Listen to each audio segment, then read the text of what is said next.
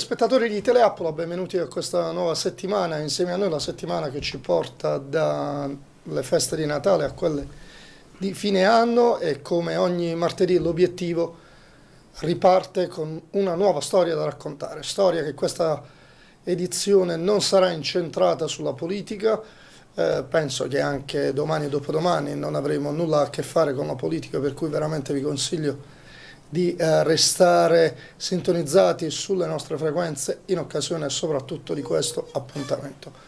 Qui accanto a me eh, Donato Laborante, l'avete visto già eh, presentato con il, um, quello che in gergo chiamiamo sottopancia, presidente di Ferula Ferita, associazione, in realtà lui rappresenta anche altre associazioni, lo scrigno di Pandora, in realtà definirlo suo presidente è magari un po' riduttivo, eh, peraltro è un volto che gli amici di Teleappola, soprattutto quelli che seguono abitualmente lo sport, hanno imparato a conoscere e a ricordare quelli più avanti negli anni, in quanto praticamente ospite fisso nella seconda parte del nostro programma di approfondimento del venerdì Tunnel.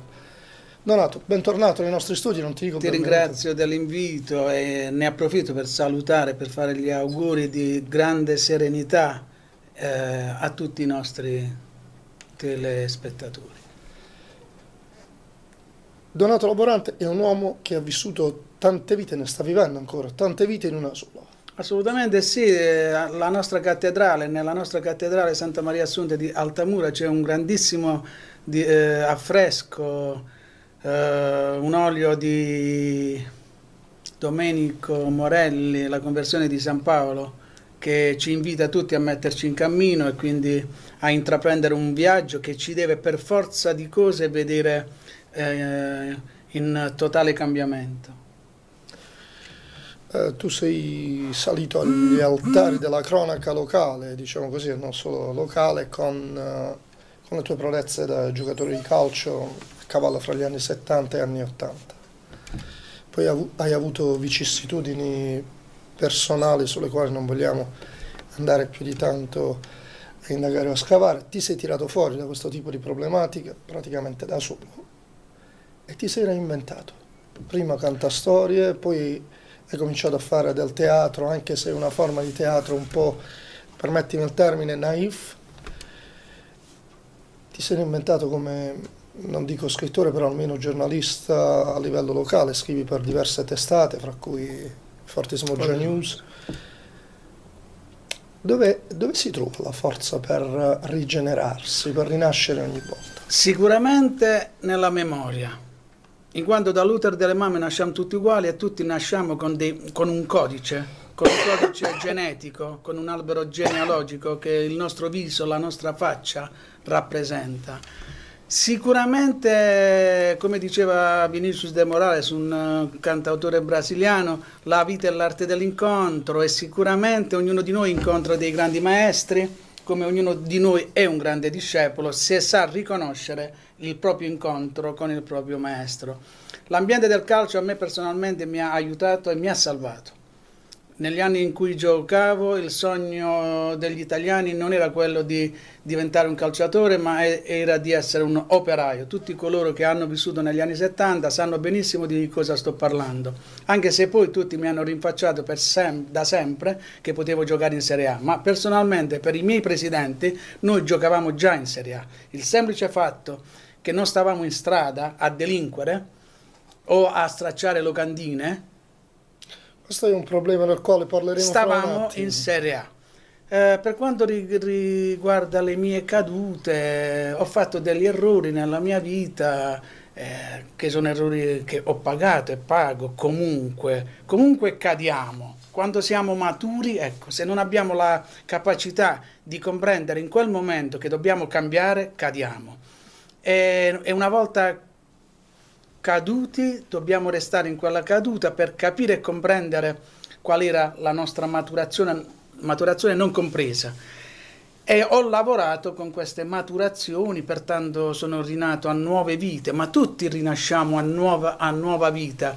E le giornate che stiamo festeggiando parlano proprio di questo, nascere eh, per essere nel mondo e non essere del mondo. Per quanto riguarda invece eh, il mio viaggio all'interno del teatro, caro direttore, penso proprio che sono stato attento, penso, ecco, come calciatore in campo ero, cercavo di avere una buona regia della squadra, quindi di, di, di, mettermi a disposizione della squadra, così anche nell'ambiente del teatro, senza saperlo.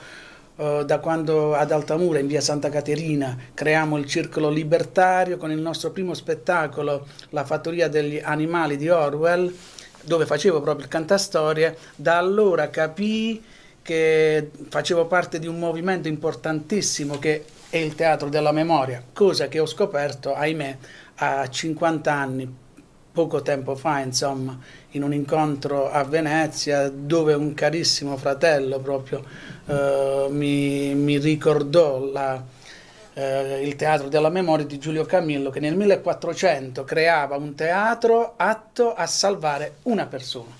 Quindi tutto quello che abbiamo fatto come ferula ferita in via Scipione Ronchetti 3 non è stato altro che affermare, chiudere un cerchio aperto da un signore nato a Porto Gruaro, immagine, nel 1400, che parlava appunto del teatro della memoria, che, eh, dove i sette principi filosofici scendono per salvare una persona. Quindi la creazione dell'ascoltatore, perché se noi non abbiamo chi ci ascolta, l'ascoltatore è importante perché eh, il disagio che stiamo vivendo, il disagio sociale che stiamo vivendo, è che tutti parlano e nessuno ne sente. Quindi abbiamo bisogno di, in, di creare dei gruppi di ascolto. Noi questo abbiamo fatto e, e, e forse Philaist, una parola bellissima Philaist, eh, ci siamo riusciti e dovremmo continuare a creare l'attenzione verso l'ascolto. L'ho scritto ultimamente e ti, e ti ringrazio pubblicamente ringrazio te, ringrazio tutto lo staff della Fortis Murgia che proprio in questi anni mi ha dato la possibilità di scrivere su un periodico dove l'anno scorso, se qualcuno vuole fare una ricerca, sono stato fortunatissimo perché sono riuscito finalmente a liberarmi di qualcosa che ho sempre amato. Ma ritornando alla prima domanda, diceva Oscar Wilde, niente uccide l'uomo più delle sue virtù. O Jean Genet, il male che un uomo fa a se stesso non glielo fanno cento nemici messi insieme. Tutti ammazziamo le cose che amiamo eh, il tradimento che ho vissuto tradendo l'amore della mia vita che era il calcio e lo è ancora, grazie al periodico della Fortis Murgia due anni fa sono riuscito a scrivere 12 articoli importantissimi dove spiego appunto che cos'è il calcio, che è il gioco del mondo, che è il gioco della vita, quindi ricordando e omaggiando coloro che prima di me lo hanno fatto, Gianni Brera, per Paolo Pasolini, eh, Osvaldo Soriano, Edoardo Galeano. Quindi da Altamura, nella provincia, in provincia dove c'è la, la, salvezza, perché miei cari, la centralità oggi sta nei paesi, non sta più in una baricentricità che ci sta uccidendo. Ricordo il titolo dei tuoi articoli era Sud, orazione, Sud, che mischiava orazione. la parola Assoluta... preghiera, la parola Sud, il fatto che si sudava. Assolutamente sì, la sudorazione delle ore, il lavoro delle ore. Noi ad Altamura abbiamo tante maestranze, abbiamo tanti maestri, abbiamo tante maestre che cantano e hanno sempre sublimato attraverso il canto la fatica del lavoro. Noi dobbiamo tornare ad essere profondità, dobbiamo tornare ad essere sud, orazione, la preghiera del sud, certo. Donato, um, tu non hai una cultura accademica, non hai probabilmente no. un uh, titolo di studio finito, però queste continue citazioni filosofiche, queste continue citazioni di grandi autori della letteratura internazionale. Quando e perché hai deciso di formarti una cultura tua personale che vada al di là e fuori dagli schemi previsti rigidamente dalla cultura eh, Ti rispondo Luigi, intanto ridendo, sorridendo dentro di me perché proprio questa mattina, come sempre succede spesso, la mia madre badessa del convento del Sacro Vento mi invitava a spegnere la luce della stanza perché la corrente si consuma, ma sicuramente se ero un laureato, se ero un avvocato, ero un laureato, eh, avrebbero capito e compreso in tanti che posso anche permettermi il lusso di scrivere. Invece non essendo un laureato, no, dici ma c'è che scrivi, c'è che scrivi. Io ti posso assicurare ci, che ci sono anche ci, ci colleghi che a prescindere dal eh, fatto che non siano neanche ci, laureati, no, no. molti Com, quando leggono quello eh, che scrivono si eh, chiedono perché. Ci sono, ci sono queste sfumature. Eh, ho, ho, ho, avuto la fortuna di avere un padre che nella la bonanna di mio padre, pace all'anima sua, che con me personalmente abbiamo avuto poco tempo per parlarci, no? eh, però quelle poche parole mi sono bastate, ma più che altro mi è bastato guardarlo eh, lui ha vissuto tutta una vita con il rancore, che è un bruttissimo sentimento di non essersi laureato, di non aver potuto continuare gli, gli studi, quando invece i suoi amici, che io certe volte mi dicevano, io facevo i combat, eh, di, poi divennero tutti dottori. No? Quindi ho capito, e lo dico ai giovani anche quando faccio teatro, nelle, nelle carceri, nelle scuole, quando, do, quando mi chiamano, eh, che tutti ti potranno tradire nella vita, tranne lo studio. Pertanto da quando uscì dal collegio, eh, che ho iniziato il mio errare, insomma, perché andavo alla ricerca della mia anima, che poi sono stato fortunatissimo, l'ho incontrata proprio nella città dove sono nato, perché sono nato a, Claus- a Claustro Giudecca, ad Altamura, nel punto più alto della città, dove il respiro è anima. E proprio lì mi sono rincontrato e quindi ho proseguito eh, ciò, che dovevo, ciò che non dovevo abbandonare, però grazie a questo abbandono sono riuscito a comprendere e a capire il significato delle parole stesse. Abbandono è una parola bellissima, Abba significa padre, dono significa dono, quindi noi nell'abbandono totale che sta intorno a noi possiamo trovare il seme della fertilità, perché è il dono del Padre. Grazie a tutto questo abbandono, grazie a, anche a, a questa distrazione nostra nei confronti della nostra terra, noi oggi, da oggi, possiamo iniziare quel famoso viaggio metanoico di cui ne vado parlando in cadute. Se io dovessi citarti Masseria Iesce. Masseria Iesce è una madre. Masseria Iesce è una grande donna che ci insegna a raccoglierci, a fermarci.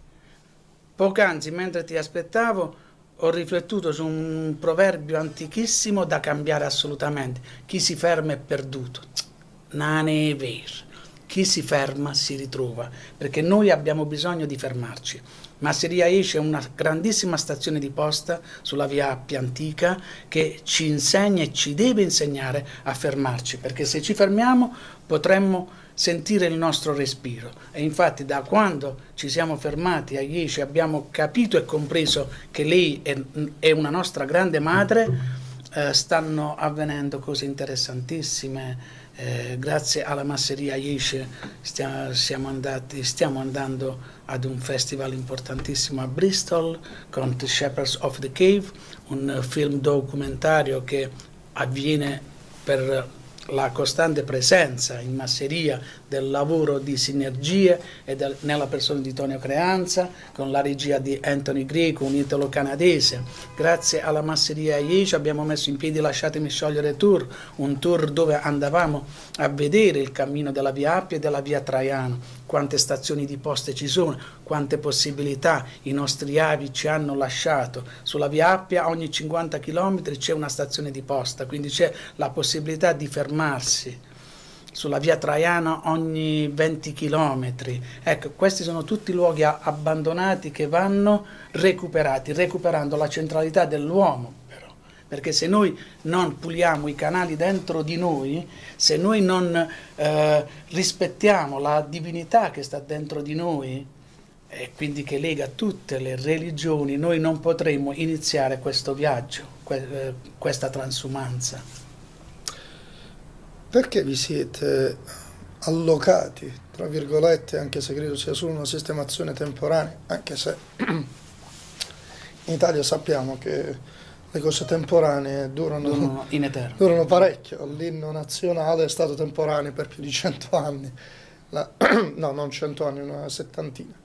eh, gli esami di Stato erano temporanei, nel 70 li hanno cambiati negli anni 90, quindi la parola temporanea in Italia ha un valore piuttosto rallentato rispetto al resto del mondo. Questa vostra sistemazione a IESCE, come, perché, da quando, fino a quando? Allora, a IESCE non ho mai chiesto il permesso di gestire IESCE, ho chiesto invece... Eh, Sono abusivo? No, no, assolutamente no chiedo permessi, ma non, ho, non, non, non, c'è stata la mia volontà di chiedere la masseria ICI. Io ho chiesto in primis l'acquedotto, perché il mio sogno è, è di essere un direttore artistico dell'acquedotto pugliese, lo ammetto.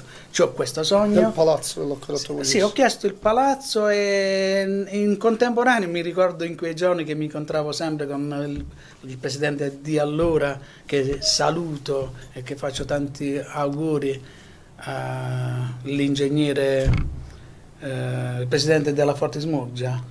L'ingegner Di Paolo. L'ingegner Di Paolo. Ci incontravamo tutti i giorni in quel periodo sulle scale del comune e io eh, stavo chiedendo appunto l'acquedotto o, o, una stanza eh, della chiesetta dei, dei, Cappuccini che non mi è stato concesso. Uh, poi per fatal combinazione andai a chiedere solo per 5 giorni, il 5 maggio dell'anno scorso, è, passato soltanto un anno. Da notare che noi come Ferro Ferita nasciamo a Iesci 25 anni fa, grazie a Tonio Creanza che mi voleva a Iesci. Io non ho mai voluto le chiavi di Iesci. Probabilmente il mio corpo, intelligentissimo più che della mia mente, sapeva cosa mi aspettava. E infatti il 5 maggio dell'anno scorso poi ho, ho chiesto Iesci per 5 giorni per fare un elaboratorio teatrale con Pier Giuseppe Francione, uno tra gli attori più interessanti contemporanei del teatro contemporaneo e, e andammo per cinque giorni. Dopo cinque giorni chiedemmo altri cinque giorni, che se so i cinque di caro Luigi, che poi abbiamo chiesto dieci per un anno in quanto qualcuno mi ha detto di usare il termine giusto, la masseria mi ha incastonato, sì e quindi sono rimasto da anarchico, sono rimasto in masseria a servire quattro padroni. Adesso non servo più un padrone o non, non, mi è mai piaciuto avere padroni, però nello stesso tempo a Iesci ne tengo quattro. E questi quattro padroni che... Possiamo nominarli certo, senza che mi fai prendere la assolut- No, assolutamente. Questi quattro padroni che di- dirigono tutto quello stazionamento si chiamano uno Gesù di Nazareth che insegna il perdono, perché a Ieci abbiamo una cripta affrescata che parla. L'altro si chiama San Michele Arcangelo che non insegna il perdono, assolutamente, insegna la rottura. E la rottura è importantissima perché se non si rompono le acque noi non, non nasciamo. L'altro invece si chiama Francesco da Paola, importantissimo che non sapevo che era un frate rabdomante, monaco, eremitico, che aveva creato mm. l'ordine dei mm. minori, famosissimo nel sud Italia, che una sua basilica gli è stata dedicata a Piazza Plebiscito a Napoli, quindi la potenza dell'umiltà. E l'altra è la Madonna, che è la masseria che insegna l'accoglienza.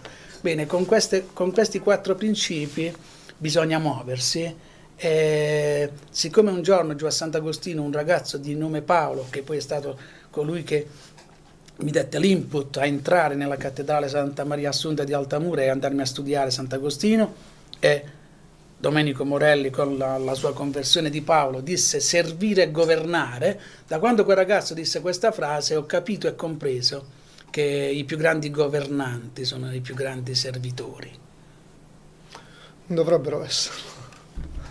Noi sì. cerchiamo di farlo perché eh, ci salveremo se metteremo al primo posto l'etica, la morale, non dico anarchica, dico la morale, però qualcuno andasse a studiare, anche in questi giorni c'è un dibattito aperto sulla, sull'anarchismo, eh, a, me personalmente mi ha insegnato il rispetto di tutti verso tutti, perché eh, l'altro siamo noi. Questo voleva dire Gesù quando diceva ama il prossimo tuo come te stesso. Eh, Donato, molte le citazioni anche mh, mm, provenienti dal mondo cattolico. Assolutamente. Sei credente? Sono credente, non sono cattolico, sono un cristiano, ma sono anche buddista, sono anche eh, giudaico, sono anche palestinese, sono asso, diceva Egon Schiele nel 1921, sono tutto, anche se non faccio tutto contemporaneamente. Ognuno di noi è una parte infinitesimale dell'universo, quindi rispondo ad una domanda che è implicita, che da bambino sentivo e mi martellava la testa, quando a Cingana sentivo dire per la prima volta chi è Dio, ho vissuto una vita intera per dare una risposta, eh, verso i 50 anni me la sono data. Dio è la somma dei pensieri, quindi se è vero che noi siamo nati a immagine di Dio, ognuno di noi è una particella infinitesimale di Dio. Un libro che vi consiglio a tutti di leggere, che ho avuto la fortuna che a me è caduto in Gape, in via Scipione Ronchetti, fu proprio Responsabilità e giudizio di Anna Arendt.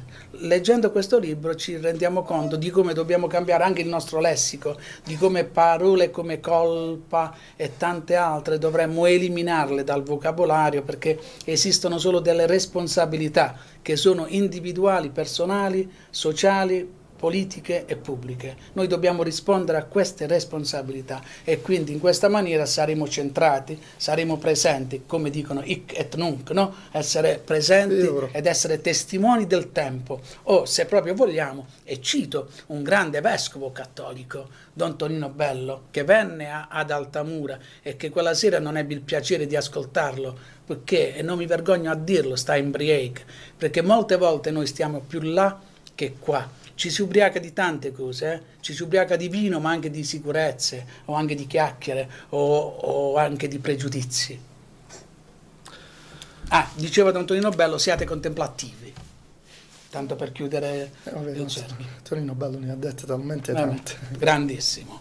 Anzi, invito tutti ad ascoltarvi in questi giorni sia i suoi auguri scomodi per Natale che anche la sua omelia tenuta nella cattedrale di Molfetta eh, sull'avvento, che sono parole, chiavi importantissime affinché ognuno di noi possa trovare le chiavi per una propria armonia, per una propria serenità familiare. Se invece ti nominassi altre due cose, Fortis Murgia e Federicus. Fortis Murgia e Federicus è una bellissima storia. Ci sono delle storie come ieri era il compleanno di Federicus, insomma, no? nato subito dopo eh, la nascita a, a, a, Betlemme di Gesù il Nazarino, importante il Nazarino. Eh, Federicus nasce eh, sotto una buona stella.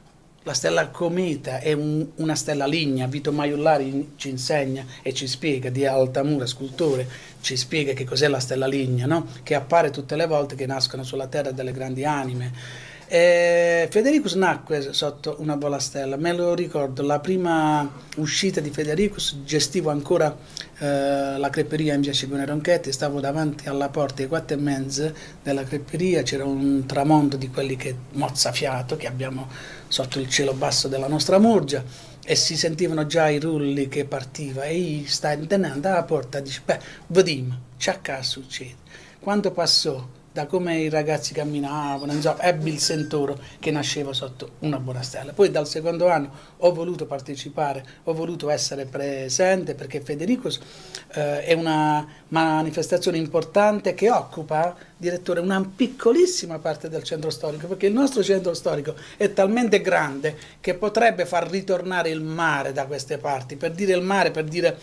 Eh, le persone quando camminano, camminiamo su questo mare, no? È una maniera simbolica per dire che se c'è partecipazione da parte di tutta la città, noi possiamo vestire la città dei suoi abiti e gli abiti di questa nostra città sono il ripristino delle chianche lungo tutto il centro storico, il ripristino della bellezza, il ritorno al raccoglimento delle acque piovane, ecco, e eccetera, eccetera. Prima, en passant, hai parlato di una che le cose, quello che è per te un nervo scoperto, la questione delle locandine, perché pare che ogni volta che appendete una locandina in giro per Altamura c'è sempre chi va a strappare. Allora, allora fino, a, fino agli anni 70 la parola cultura non la sentivo mai Sentivo le persone che parlavano, si prestavano, mettevano in azioni dinamiche dalla nascita delle radio, teleappola. Ecco, tutti questi fondatori, se voi andate a intervistarli, negli anni 70 la parola cultura non esisteva c'era l'azione, ecco perché noi ci chiamiamo ferula ferita azione teatrale, perché nell'azione c'è la dinamica e nella dinamica ci sono le reazioni, ad ogni azione corrisponde una reazione uguale e contraria. Questa è una delle pochissime verità che stanno sul pianeta Terra. A Perugia dicono verità, verità, verità, chi la sa non la sa arcontà. Qua ad Altamura sembra che tutti sono portatori di verità, ma in realtà sono dei grandi menzogneri, in realtà sono violenti. Questa città sta esprimendo, infatti vedi come mi accaldo, perché è vero, una violenza atroce da parte di coloro che nominano questa parola terribile che io non nomino quasi mai, cultura. In nome della cultura Buona Strazzani i manifesti, è pazzesco, ma non soltanto a me, coprono, cioè c'è un dileggio, c'è per il corso, mi dispiace dirlo, ma è così, eh, non ci sono sorrisi, non c'è una buona educazione, non c'è una gran bella immagine. Eh, non voglio entrare proprio in merito perché mi sono anche stancato di fare denunce, di... un, un, un fatto è certo comunque, eh, c'è bisogno di, una, di, un, di un ordine morale, insomma. C'è bisogno che ognuno faccia il proprio lavoro, che il maestro faccia il maestro. Proprio oggi, guarda caso, Facebook, di cui sono stato, mi hanno el- eliminato due profili, mi sta dando il diario di, di un anno fa. E proprio oggi mi ha dato il diario di ciò che scrivevo l'anno scorso a proposito delle locandine. Ed erano esattamente le stesse cose. Nane canget nud. Pertanto c'è bisogno, ecco, quando Don Tonino diceva, Don Tonino Bello diceva bisogna essere testimoni del proprio tempo, dico se io vedo un ragazzo che sta stracciando una locandina, io dico, mezzaste voglio macciare ste fe, perché? Perché quello che vorrei dire sono tutte azioni di dismaturità e ad ogni azione di questi ragazzi c'è bisogno che noi di un'altra generazione parliamo, perché non sono altro che dei richiami. Il ragazzo che urla, il ragazzo che piscia per il centro storico è un ragazzo che ha bisogno che qualcuno non ci spieghi. Ciò che sta succedendo, ma se tutti quanti tiriamo i remi in barca, il paese è lasciato alla mercé di chiunque. E, no, e, non è bello, non è bello perché la locandina, eh, se scendete per il corso, insomma, no, anche dove vengono messe, che vengono stracciate, sembra sporco. Le bambine piccole, i bambini camminano, guardano, non è un buon insegnamento. Quindi penso che dovremmo trovare una soluzione che non è la soluzione istituzionale, che tutti quanti vogliono sempre da questo padre, che poi in Italia siamo orfani di un padre. Ma per quanto riguarda Ad Altamura è proprio un fatto di un, di un parlarsi, di un confrontarsi. Ecco, questa volontà non c'è non c'è, non c'è. Tutte le volte che ci siamo incontrati anche del mondo associativo, si è notato che non c'è assolutamente voglia di conoscere l'altro. Le faccio un esempio, direttore, scusami se ti do del lei, ma è proprio... Non è un'offesa. Eh, mio padre mi piace a sé, che mi dava del voi, capito? Mi piace a sé. Allora, nessuno è venuto in questi anni, per esempio, a chiedermi Scusa, laborante, ma perché siete un museo d'arte contemporanea? Oh, nessuna delle associazioni cosiddette culturali di Altamura mi è venuto a chiedere perché ci chiamiamo Museo d'arte contemporaneo. Siamo l'unico museo d'arte contemporaneo oh, nel mondo. Perché l'arte, come diceva Egon Schiele, che l'ho nominato nel 1921, è eterna. Deve essere il museo, la struttura che deve parlare di contemporaneità. Ecco la Masseria 10. La Masseria 10 è un museo d'arte contemporanea, oh, ovvero una persona entra, quando esce, ah yes, diverse. Gli deve essere successo qualcosa dentro che lo deve far cambiare. Le persone perché escono di casa? Siamo, siamo in chiusura, però prima di, di farti andare via, um, ormai sei diventato un attore che si sta affermando anche fuori da Altamura. so che spesso sei ad Ariano Irpino, spesso sei in provincia di Foggia, quindi il vostro gruppo uh, teatrale comincia a farsi conoscere anche certo. fuori.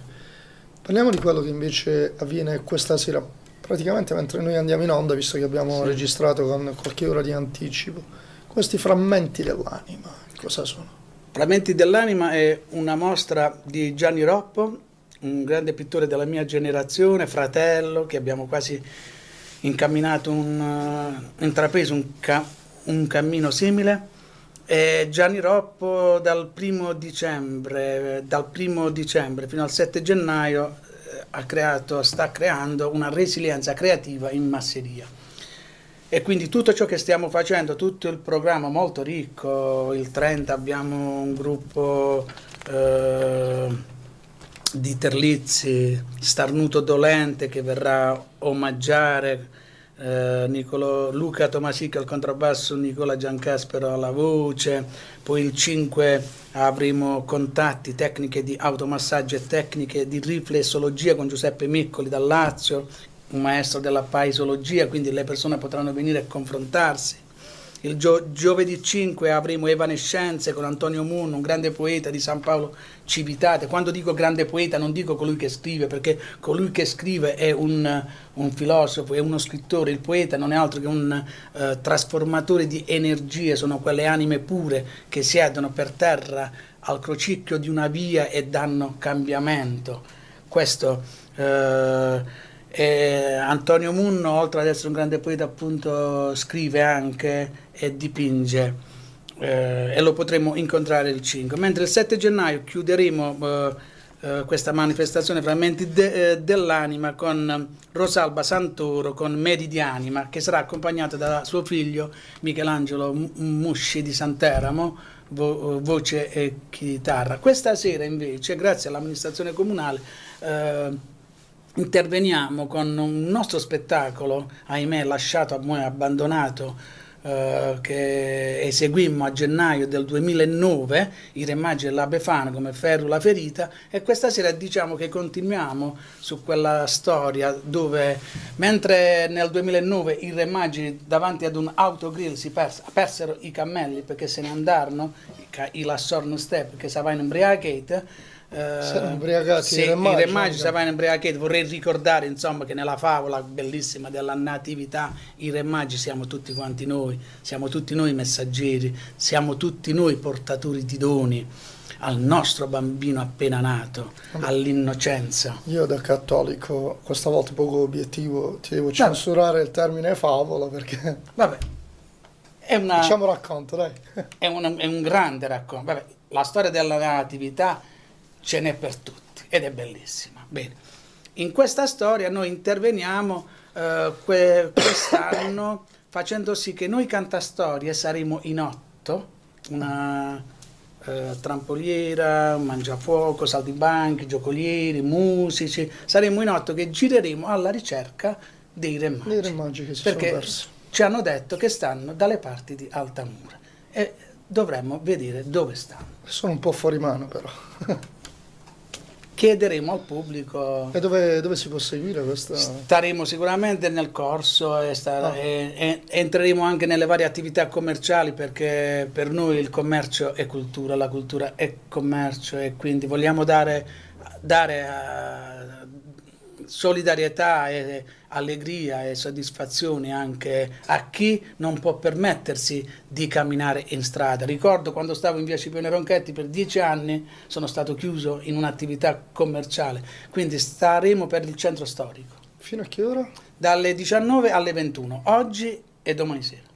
Ah, quindi chi non riesce a venirvi a seguire oggi, sicuramente domani, magari anche dopo aver ascoltato questa trasmissione o le repliche, potrà sicuramente farlo.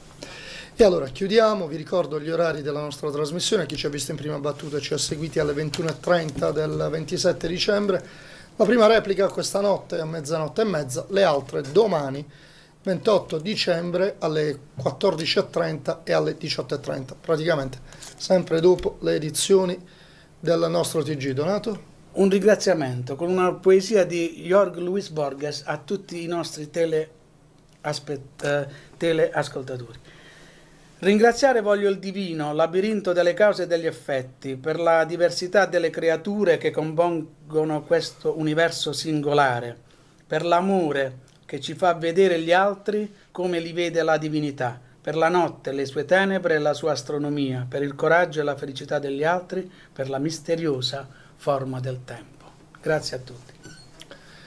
Era la chiusura più bella, l'appuntamento con l'obiettivo torna domani sera a partire dalle 21.30. Nel frattempo grazie a Donato Laborante grazie di essere stato con noi, grazie a chi ci ha seguito da casa e buona serata a tutti.